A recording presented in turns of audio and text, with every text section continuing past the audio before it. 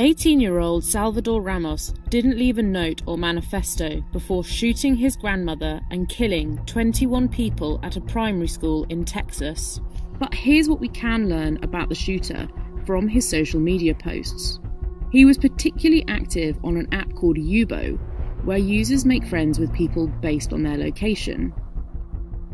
He used the platform to send aggressive messages, like this one to a girl on Valentine's Day in it, he says he would worship her before telling her to jump off a bridge.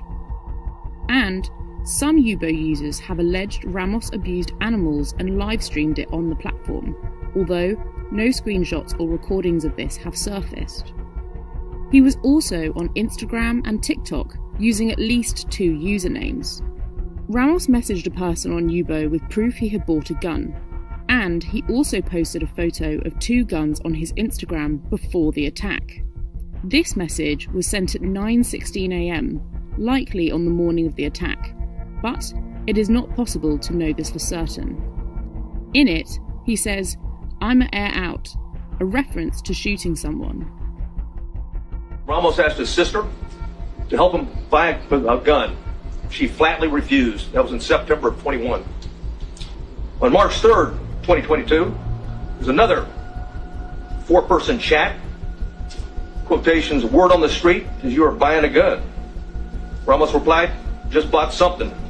On March 14th, and there's an Instagram posting by the subject, in quotations, 10 more days. A user replied, Are you going to shoot up school or something? The subject replied, No, and stop asking dumb questions and you'll see.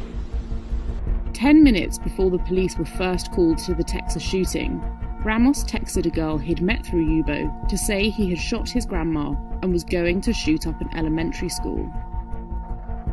The 15 year old spoke to CNN, and Sky News hasn't independently verified these texts. His profile has been shut down by Instagram, which is working with US law enforcement on the matter. Daniel Allington, a senior lecturer at King's College London, specialising in social media in relation to hate and violence, told Sky News the 18 year old was a socially isolated young man who appears to have violent fantasies of revenge and who had a clear element of aggression in his messages.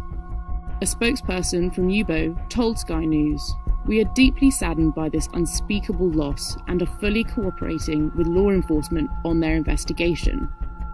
At this stage, we are not legally able to release any specific user information outside of direct requests from law enforcement, but can confirm that we are investigating an account that has since been banned from the platform.